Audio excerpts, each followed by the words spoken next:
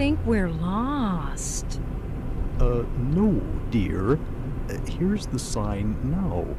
Drive in radio theater this way. Oh.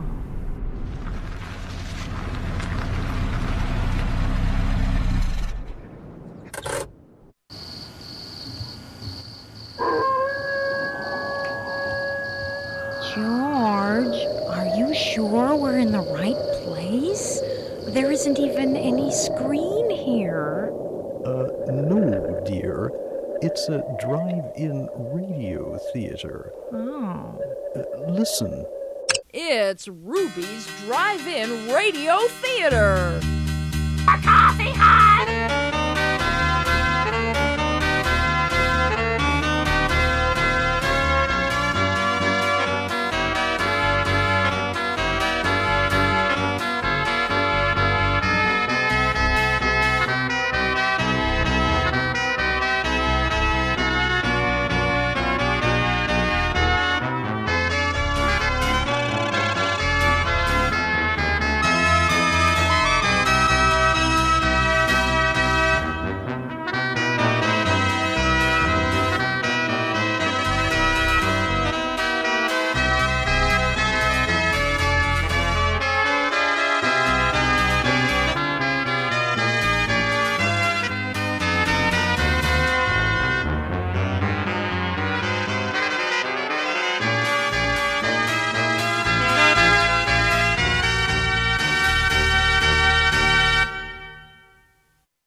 In baseball today, the Akron Nightcrawlers defeated the Alpena Ball Bearings by a score of 6 to 1.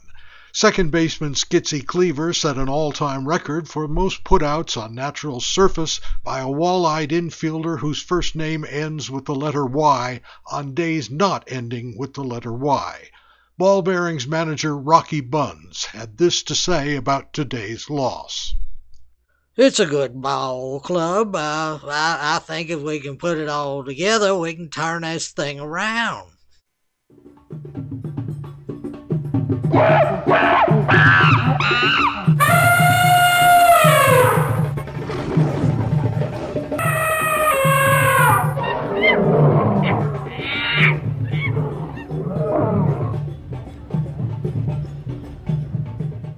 Welcome once again to Animal Magazine. Tonight, we'll be taking another look at the controversial Endangered Species Preservation Program pioneered by Dr. Heinz Fleischacker and his group from the University of Northern Central New Jersey. As you may recall, the Fleischacker Group concluded that efforts to save shrinking animal habitats from the bulldozers of encroaching civilization might better be spent in teaching the animals how to survive in human society. Last week, we followed the adventures of some denizens at the Topeka Zoo who are taking part in a Fleischacker inspired work furlough program, learning to be model urban citizens. Join us as we follow up on their progress. We're here in Berkeley, California at Edie's, one of the world's fine restaurants. We've secretly replaced the fine coffee they usually serve with Phil Boyd Studge. Will it be rich enough? Let's listen in to what the patrons are saying through our hidden microphones. As technology has advanced in America, it has increasingly encroached on one of those liberties, what I term the right of personal privacy. Modern information systems, data banks, credit records, mailing list abuses, electronic snooping, the collection of personal data for one purpose that may be used for another, all these have left millions of Americans deeply concerned by the privacy they cherish. There you have it, another unsolicited testimonial for Phil Boyd Studge, rich enough to be served in America's finest restaurants.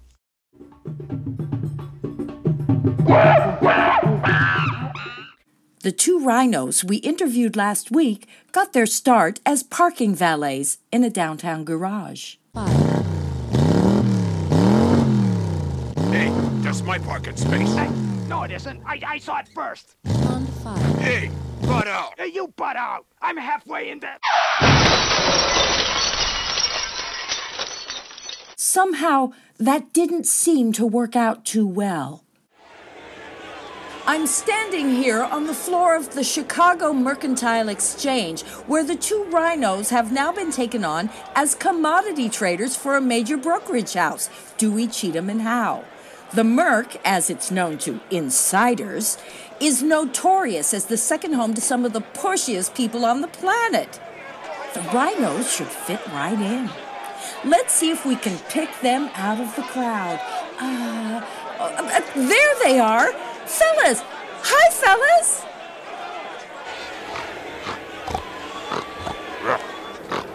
Well, you're certainly looking colorful in those lime green and purple striped trader's jackets.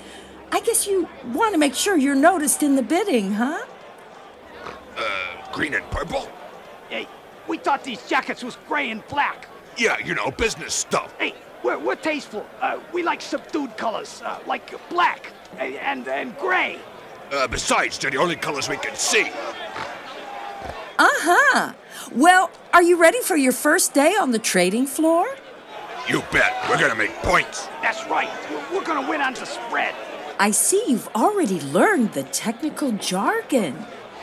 Uh, yeah. This is pretty sophisticated stuff, but we've been trained real good. Damn straight. We're gonna score, baby. Right to the top. Buying these, how many? Like all day.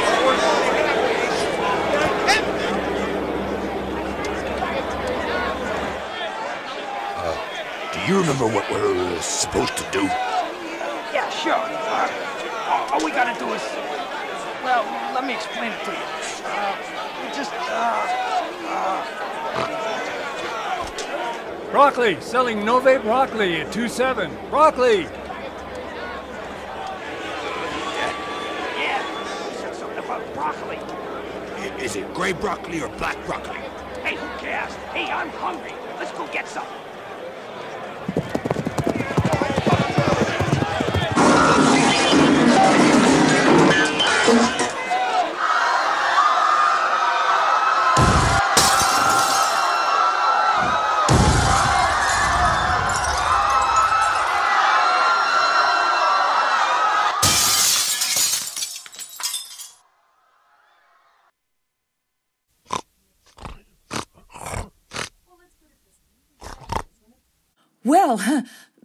Strange. Just about all the other traders seem to have left the floor. Oh, sir, uh, sir, uh, uh, let me help. Uh, mm, let uh, let me help you up here, sir. Oh, oh, what just took place out there? It's astounding.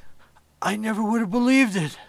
Uh huh. And what exactly is? Those guys, in all my years in the commodities business, it's impossible what they did. What exactly did they do? 17 years I've been in this. Amazing. They said it couldn't be done. Cornered the market in frozen broccoli. Every last stock. It's theirs. It's illegal. You can't corner the market. But they did. Excuse me. I think I'm going to take up the religious life. Excuse me. Well, now that the rhinos have cornered the broccoli, let's go over and find out what they plan to do with it. We got it all? I think so. There's nobody left. Okay, let's eat. Yeah, let's eat. I'm starved. Where's the broccoli? I think, uh, I, I think I see him wheeling it in now. Hey, hey, you. You in the gray jacket. Hey, buddy, where's our broccoli? Uh, if you'll forgive me, gentlemen, my vacation flight for Nassau leaves from O'Hare in just 20 minutes, and I've got to. Ah! My colleague and I would just like to ask you a couple of questions. Yeah. Where's our broccoli? Uh, do I understand you to say you're expecting immediate delivery? Yeah. We want all the broccoli. Here. Now. In a great big wheelbarrow. Yeah. I should have thought you could comprehend that simple request. But these are futures you've bought here, gentlemen. That's November broccoli you've just cornered. It hasn't been planted yet. Not planted? Hey, what is this? I'm hungry.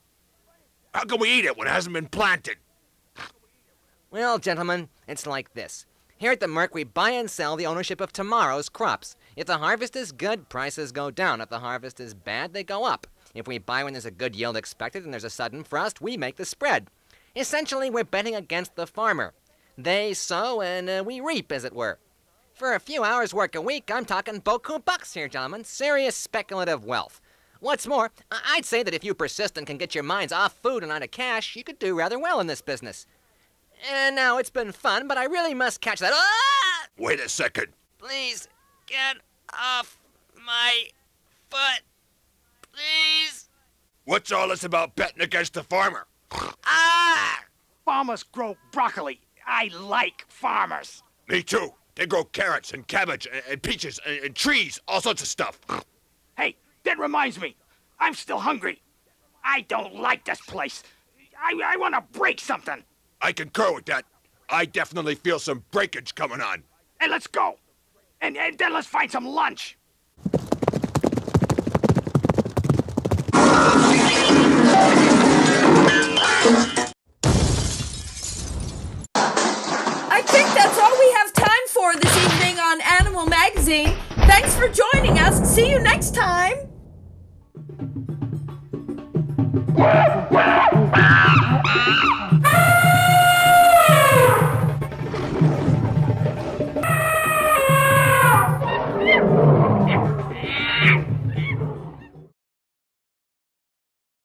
In baseball today, the Oshkosh Maggots defeated the Coffeyville Doorknobs by a score of 6 to 1. Pitcher Yuvala Ramazzotti set a new league record for the most walks in one-run games on AstroTurf in odd-numbered month-day games against teams with silly-looking uniforms. Oshkosh is a farm team of the Houston Astros. Doorknobs manager Turley Weecox had this to say before today's game. It's a good ball club. Uh, I, I think if we can put it all together, we can turn this thing around. Hi there, I'm Bobby Rydell. Hi, this is Dee Dee Sharp. And this is Don Bruce at Cameo Parkway Records. You just put the needle on a really unique record album. Here is a complete disc jockey show with all the modern pace of today's exciting radio. The popular music, the great record stars, and even the station jingles and commercials. There's one important element missing, however. That's the DJ himself. That's you. With this record and the scripts that are included, you become a disc jockey. You introduce the records. You interview Dee Dee Sharp and Bobby Rydell. You become the star of your own record show. After listening to this record a few times, you should be able to do it perfectly. Now, take a listen to this sound. That's the sound cue referred to in your scripts. When you hear this sound, that's your signal to start talking unless otherwise directed by the script. Now, here's a demonstration show which we hope will help you do your show, which is on the other side of this album.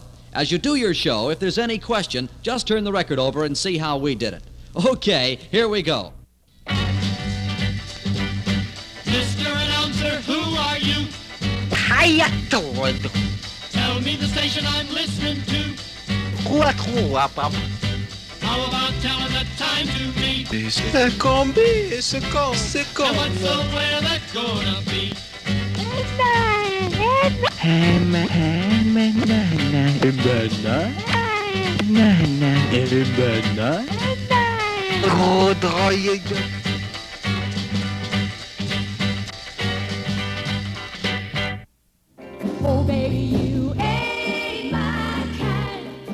Same time, all of these ennui filled sentiments were being portrayed musically by the simplest shifts of 4 5 1 cadences, such as would fill most of the Methodist song and anthem books circa 1850 and in the best post Mendelssohnish tradition. There's a very, very curious dichotomy between the music that was being used and the words that were being applied to it.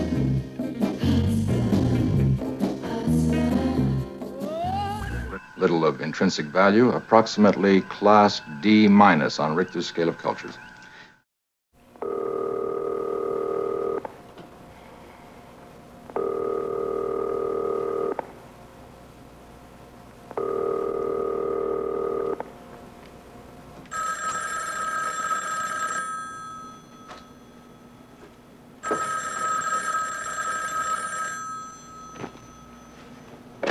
Hello. Hello. Hello. Why don't you say something or hang up? O oysters, come and walk with us, the walrus did beseech. Mommy? Mommy?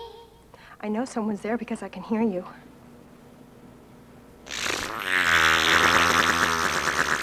Who is this? It's fantastic.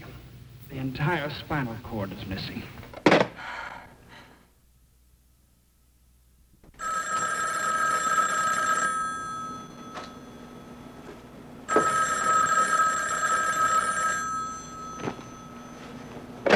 Hello. Hello. Hello. I know someone's there because I can hear you. Go on, say it. Do you have Prince Albert in a can? Who is this? Thank you. Hello. This residence has been man-trapped by the Lethal Defense Corporation of Sweden. Please proceed no further without authorization from the resident.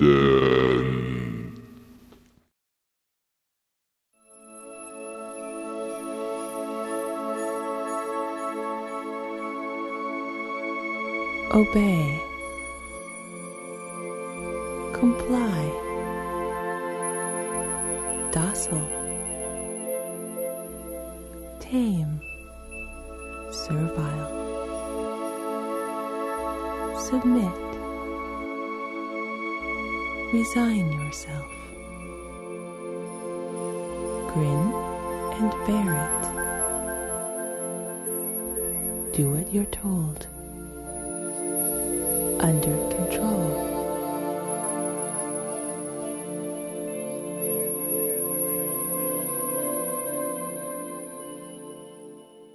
In baseball today, the Sulphur Springs Bird Feeders defeated the Dearborn Turn Signals by a score of 6 to 1. Third baseman Archie Walkenfuss set the all-time record for most foul balls by an infielder with thumbs longer than 4 inches hit after 11 p.m. on weeknights, all day Saturday and Sunday, and on certain holidays. The manager of the Turn Signals, the ever exuberant Goon Baumholtz, had this to say about today's loss. It's a good ball club. Uh, I, I think if we can put it all together, we can turn this thing around. Yellow-bellied sapsucker.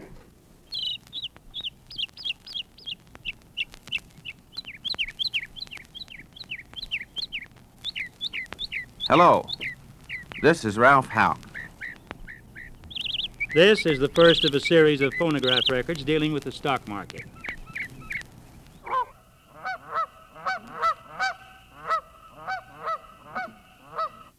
Yellow-bellied sapsucker. For I can't see anybody buying an album such as this unless he wanted to make a buck. I'm glad you feel that way. There was a time when you and I were quite close. Red-eyed towhee. A pitcher has only one arm, so he must take care of it. Yes, Leslie, that always seemed odd to me, too. Veteran chart readers don't like to predict for sure that the movement will be any greater than the back of the triangle. In this case, two and a half points, down to 15. I've always admired your talent very much. These territorial calls are uh, for the purpose of, of keeping other male birds out of that particular section of the forest or field or whatever it is that this pair has set up and adopted for their own. The territorial call then is the song and really its function is to drive other males away. I really think you're a special person. I really mean that. Getting into the different positions in baseball. Let's take up catching first. Why? What happened? Why? What happened? The boys and girls who ask that question have never opened a book about either economics or business. There was a time when you and I were quite close. In this way, if he fumbles, he can make a faster retrieve. Sure, act like it's all my fault.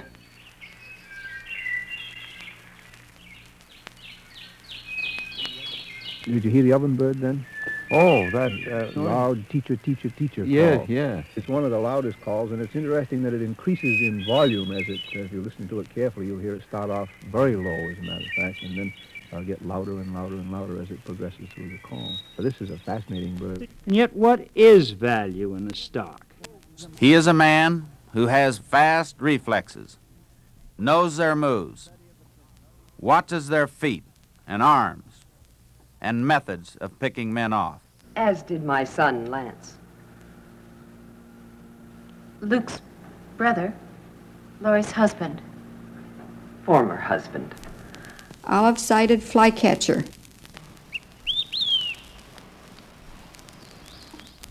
Are you at high tide or low tide or somewhere in between?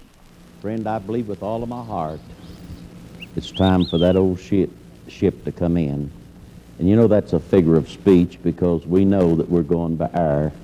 I personally see no logic whatever in this, but a lot of people believe in it, and thus it can come true.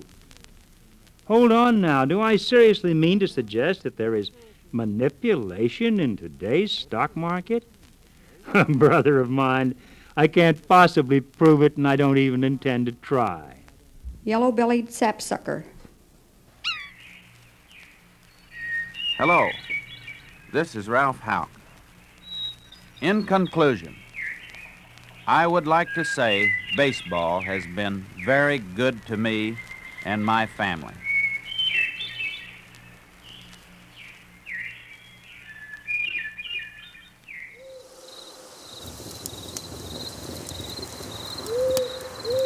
Hey there, Slim. Why don't you give us a tune on that there harmonica?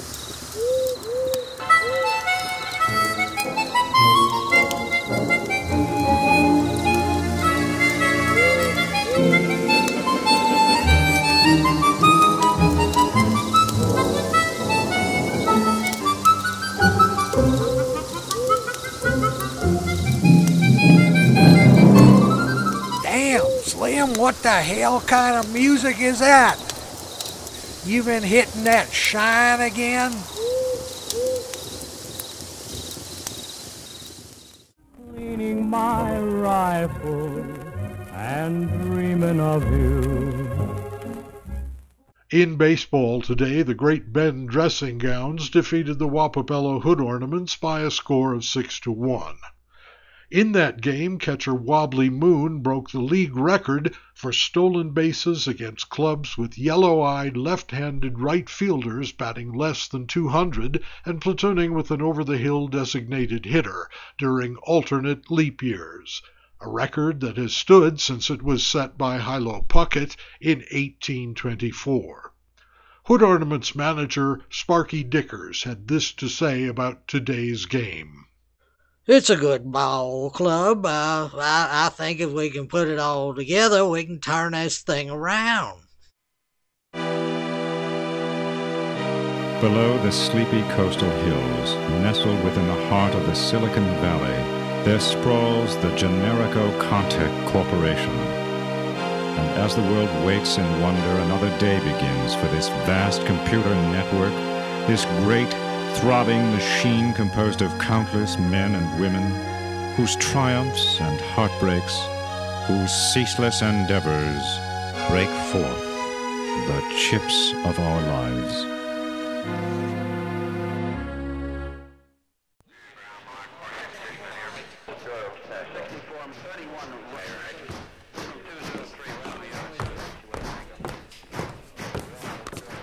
General Sidewinder, sir. And, uh. I am Siegfried, Government Services Administration. The General likes to call me his fiscal watchdog. The Secretary asked me to accompany General Sidewinder on this trip. You must know that Milstar is coming under fire in Congress from certain, uh, elements. Oops. General, sir, the video you're about to see is the Joint Chiefs new Milstar video project.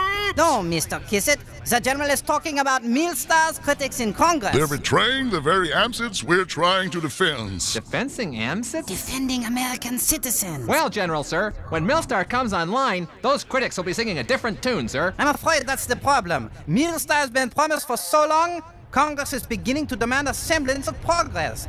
Demos, deadlines, milestones. Tombstones for all of them. We never should have opened the kimono and Milstar. Set everything back. Did we request capital green light for the Sheboygan project? Well, did we? No, sir. Did we information Congress about Project Gene Splice? General, that's still classified. Precisely. And proceeding very nicely, our people in Biodef tell us. Have AMCITS voted against the protectionization Milstar alone can offer?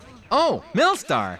General, sir, the video. Maybe we should have a look at the great progress we're making. Video progress? Look, son, when do we go online? When are you dweebs gonna deliver hardware and let us go ballistic? We're very close, General, sir. Perhaps Mr. Siegfried could look over these contract revisions while I queue up the video. Verite, son. I want verite. I want to feel the heat of those lasers. I want to smell the burning. Soon, sir, very soon. But in the meantime, just look at this fire control box. It's a prototype console adapted from Context Video Games Division. It's user friendly, sir. Of course, computers will command the launch controls from the space shuttle in the real version, but every system needs a manual override. Getting the feel of it, General?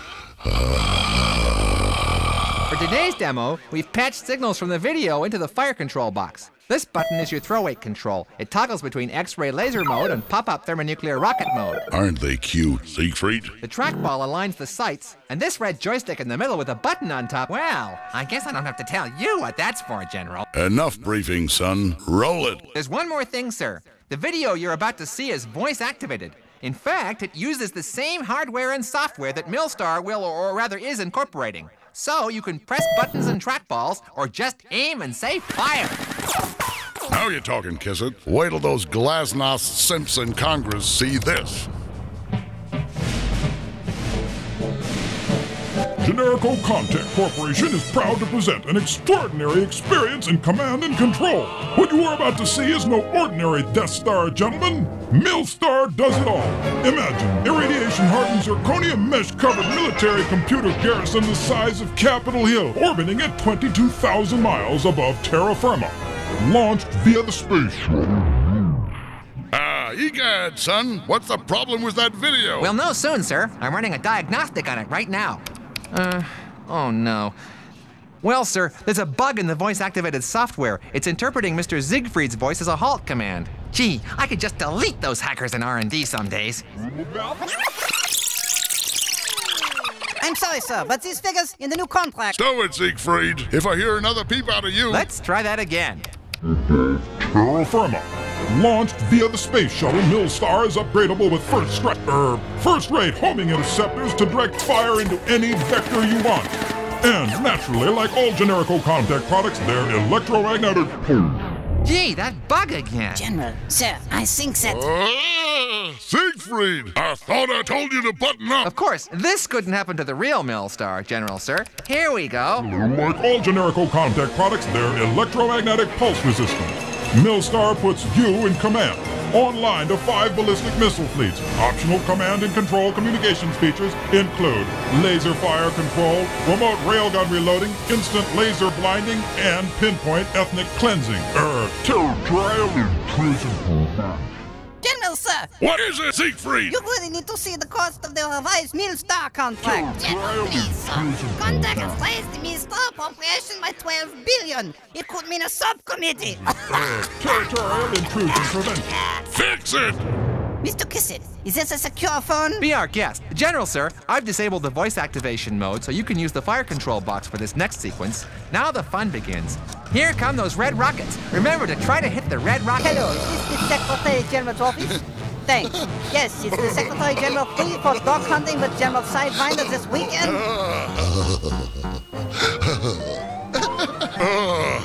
My heart feels like an alligator.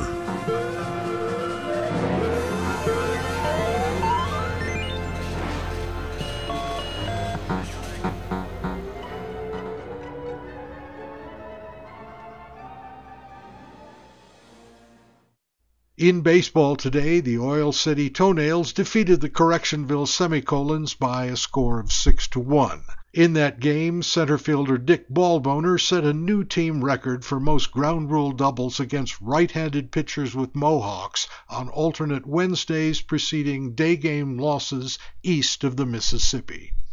Toenails manager, the colorful Barber Eupert, had this to say about today's game. It's a good ball club. Uh, I, I think if we can put it all together, we can turn this thing around. We're here in Berkeley, California at Edie's, one of the world's fine restaurants. We've secretly replaced the fine coffee they usually serve with Phil Boyd Studge. Will it be rich enough? Let's listen in to what the patrons are saying through our hidden microphones. Where do you start? But you have one thing in your favor. You have that lovely, agile young body. Can't you tell I'm crazy about you? I find you a very exciting woman. I really want to believe that. I don't think I've ever had a dream this beautiful. I really think you mean that. Every day it's gonna get better and better. But that's going to take time. Just mellow out a little bit. I'm not sure I understand. Do I detect a note of insecurity? I'd be a fool not to trust you. Your desire very often borders on desperation, Karen. There you have it, another unsolicited testimonial for Phil Boyd Studge, rich enough to be served in America's finest restaurants. Well, my baby just like money. True while you hold her tight. But if you let her go, she'll blow like dough. Honky tonk day and night. Cause a friend of mine came and wised me up. But this is what he said. Money goes from hand to hand, and your baby goes from man to man. Gary called again today. I answered the phone on the second ring, and a familiar voice with a thick Pakistani accent said, Hello, this is Gary from Microsoft Computer Technologies. I'm calling about some problems with your computer. Gary has been calling us for years now. More than once I've thought that as soon as he identifies himself, I should shout down the hallway, Honey, pick up the phone. It's Gary. Then back to the phone. How are you, Gary? How's the family, the missus? Kids doing okay in school? It's quite possible that my computer does have problems. A nagging fear haunts me that Gary is right, that I am somehow doing irreversible electronic damage, Luddite that I am. And if I don't follow Gary's instructions in merely a few critical seconds, the whole apparatus will crash in a puff of smoke, alarm bells ringing, and possibly sparks or even flames leaping out of the keyboard and the monitor. Gary's phone calls plug into my technological insecurity. His whole routine has more plausibility than, say, the email supposedly sent by a grandson after he has been mugged in a London hotel parking lot and needs money wired right away. Gary is more plausible, too, than the famous Nigerian prince, who has a trust fund waiting for us both as soon as the bank receives payment of minor legal fees. Also, Gary is smart enough to know that threats and browbeating won't work with me. Pretending to be from the Internal Revenue Service, demanding immediate payment of non existent back taxes, would only anger me, and soon we would be larynx deep in a shouting match. One such phone call actually ended with the caller thundering at me, Pay the money you owe us, or you're going to jail. Then he added, almost as an afterthought, Have a nice day. I could get suckered into Gary's routine, except for his name. With that wonderful accent, I expect a name like Sanjay or Gupta or Radhamathnan. But Gary? I envision Gary in a small, drab cubicle with a metal desk and chair. Overhead, a fluorescent light buzzes and flickers. He has a thermos of lukewarm tea. Also on the desk is a daily printout of names and phone numbers. A poster intended to inspire is thumbtacked to the wall. The image is of an eagle in flight, and at the bottom is the word soar. One thumbtack has popped off, and the corner is curling down. Gary's phone calls, frequent though they may be, always take me by surprise. Once I managed to stammer, I can't believe you're still calling me. He replied cunningly, And I cannot believe that you would not take better care of your computer. Oh, yeah, he's good. Today, though, I was ready for him. Hello, this is Gary from Microsoft Computer Technologies. I am calling about some problems with your computer. I was barely able to contain my excitement. Carefully and clearly I said, Gary, are you ready to accept Jesus as your personal Savior? Silence. Gary, right now, are you ready to. I heard a click, then a dial tone. Then a woman's recorded voice said, If you would like to make a call, please hang up, then dial again. If you need help, dial the operator. Gary will probably call back sometime. He's persistent. But somehow, I now feel that I've got the upper hand. After all, God's on my side. And maybe I can get Jesus to fix my computer.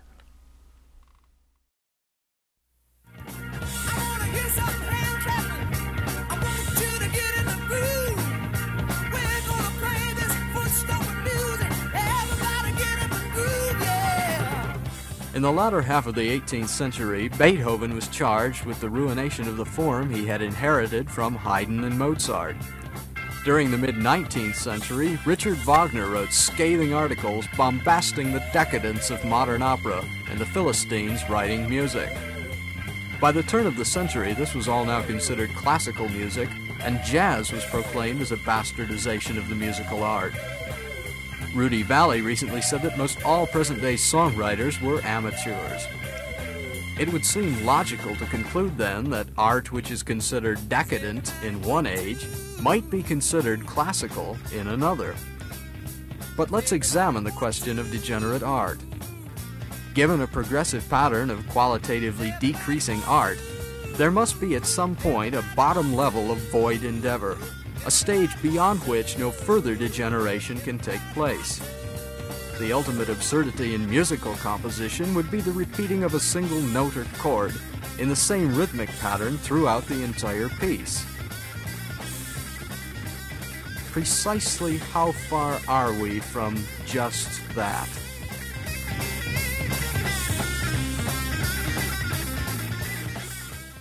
Coming up next, the Chipmunks sing Milton Babbitt. Little of intrinsic value, approximately class D minus on Richter's scale of cultures.